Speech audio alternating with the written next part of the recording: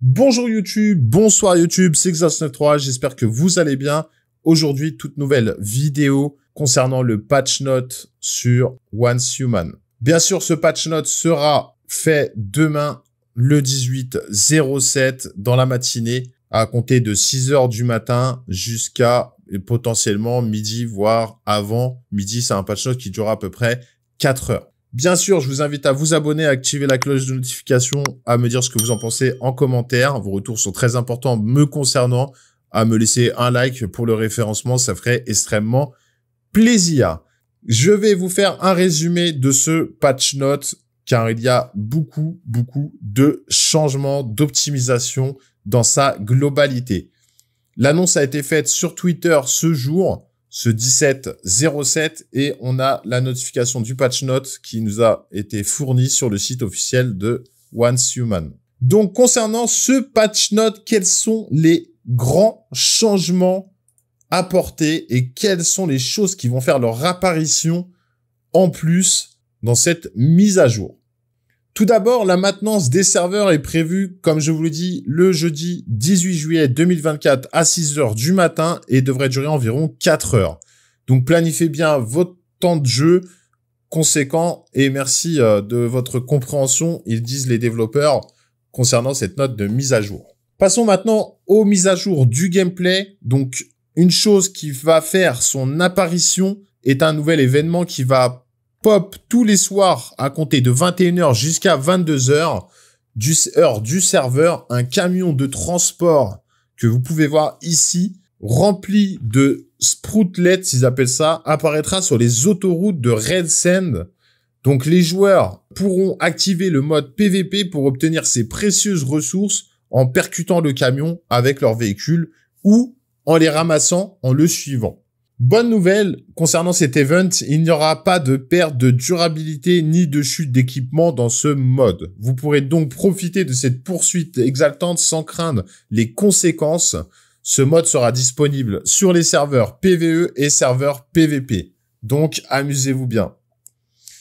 Rentrons ensuite, passons aux corrections de bugs et optimisation. Voici quelques-unes des principales corrections apportées que je vous ai sélectionné parmi toutes celles qui figurent dans la liste. Bien sûr, il y en a beaucoup. Comme je vous ai dit, j'ai répertorié pour moi les plus importantes à mon goût. Une chose importante qui va être faite, c'est concernant la désactivation de la fusion des mondes pour éviter des complications futures. Parce que il y a eu pas mal de problèmes a priori selon des tests qui ont été réalisés et ils vont éviter ce système de fusion quand un monde devient quasiment vide de joueurs, ils voulaient le fusionner avec un autre monde. Le problème, c'est que ça, faisait énormément de complications. Nouvel ajustement concernant l'augmentation de la limite de dons hebdomadaires pour les warbands. Et ça, je suis pas trop fan. Pourquoi je dis ça? Parce que, en fait, ça va être un point positif de pouvoir faire plus de dons pour augmenter nos points pour déclencher des guerres. Cependant, je trouve ça avantageux pour les grosses guildes. Alors quand je dis grosses guildes, parce que là, à l'heure actuelle, il y a beaucoup de guildes qui ne sont pas remplies. Pourquoi? Parce qu'il y a beaucoup de joueurs qui ne peuvent plus rejoindre des serveurs. D'accord? Donc nous, on est ciblé par rapport à ça. Il y a beaucoup de joueurs qui veulent nous rejoindre, mais le serveur est complet et il y a pas mal de joueurs qui ne peuvent pas nous rejoindre, malheureusement. Donc on est obligé d'attendre et ça met l'avantage sur les grosses guildes. 30 personnes, donc ils pourront multiplier leurs dons par X.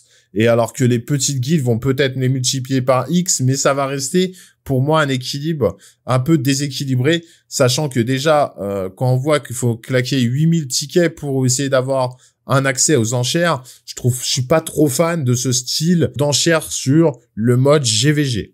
Une autre chose qui est ultra importante me concernant que j'ai trouvé vraiment stylé, c'est l'extension du rayon de détection de space-time. C'est quand vous mettez un coup de Q euh, directement et que ça vous spot un peu tous les éléments qui sont sur la carte. Bah ça, je trouve ça stylé parce que ça va permettre une meilleure exploration pour éviter de faire du spam euh, à chaque fois pour essayer de trouver tous les éléments ou toutes les caisses qui sont autour. Si ça augmente, on verra bien. Euh, je vous ferai un retour concernant ceci quand la mise à jour sera faite correction de nombreux bugs affectant les armures.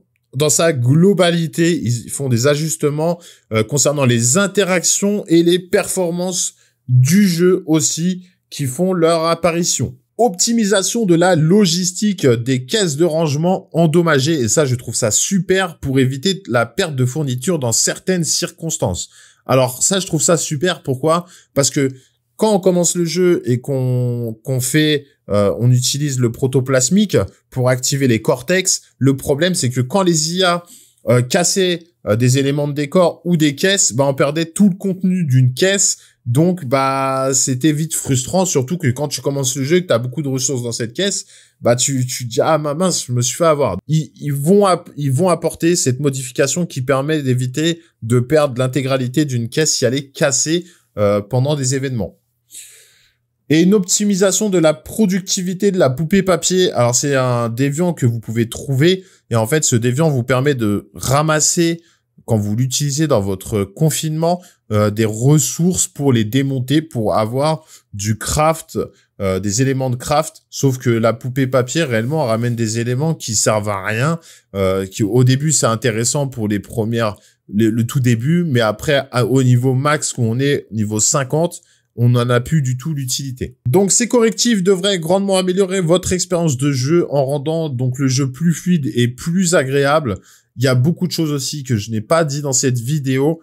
Il y a eu des correctifs au niveau aussi dans sa globalité des gens qui utilisaient un peu des glitches pour éviter euh, la vague de ban qui a lieu dernièrement parce qu'il y a une grosse vague de ban et j'en ai pas parlé, ce n'est pas le sujet de la vidéo, mais donc l'utilisation de glitch peut être sanctionnée par des bans et euh, faites bien attention à ça de ne pas euh, l'utiliser ou s'il y a des gens qui utilisent ce genre de choses, faites bien attention parce que ça peut être impactant pour toute la euh, tout, tout un clan. Enfin, jetons un œil aux nouveautés parce qu'il va y avoir des nouveautés dans la boutique. Et oui, des nouveaux skins vont faire leur apparition, de nouvelles tenues comme Y2K. Alors, je n'ai pas les images à vous partager concernant les skins, où on les découvrira demain dans la boutique. Et euh, il y a le gladiateur courageux ainsi que le set de mobilier murmure du chat et les skins d'armes sabot brillant et ultimatum sont, seront disponibles cet été. Ne manquez pas ces nouveautés pour personnaliser votre personnage et vos équipements. Il cite les développeurs concernant ceci. En conclusion, voilà pour les notes de mise à jour du 18 juillet 2024 pour Once Human. J'espère que vous êtes euh, aussi excités que moi pour ces nouvelles fonctionnalités et corrections. N'oubliez pas de liker cette vidéo, de vous abonner à la chaîne et d'activer la cloche pour ne manquer aucune mise à jour future. Merci d'avoir regardé et à très bientôt dans Once Human.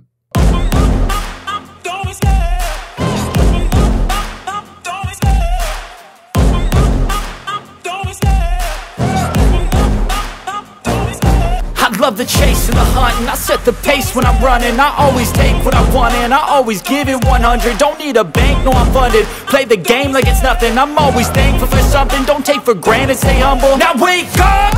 It's time to look at the enemy. Look in the mirror if he is no friend to me. It's not working out, maybe it's the chemistry. It's time to break up